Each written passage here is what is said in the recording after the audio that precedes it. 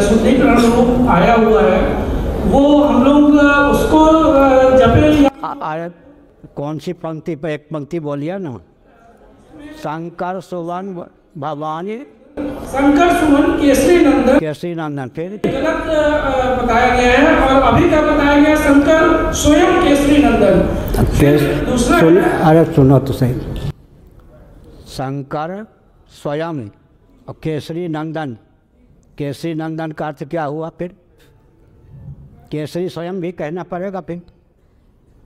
शंकर, सुवन का मतलब क्या होता है? शंकर पुत्र, अवतार के दो भेद होते हैं। कौशिक की ब्राह्मणोपनिषद का अध्ययन कीजिए। पिता ही पुत्र रूप से जन्म लेता है। शंकर, भगवान साक्षात अवतीर्ण होते हैं, एक विधायक शंकर, भगवान अपने अंश रूप में उत्पन्न होते हैं।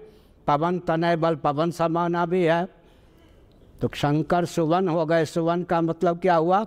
शंकर के पुत्र माने अंशावतार। तो अंशावतार होने पर अंशी से एकीभूत हो ही गए। पाठ बिल्कुल ठीक है। इधर उधर का भवानी नंदन है। आगे क्या?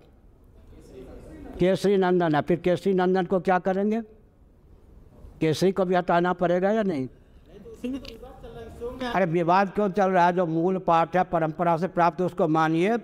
अब विद्या का कोई दुरुपयोग करे तो उसको मत मानिए, कोई भी क्यों ना हो।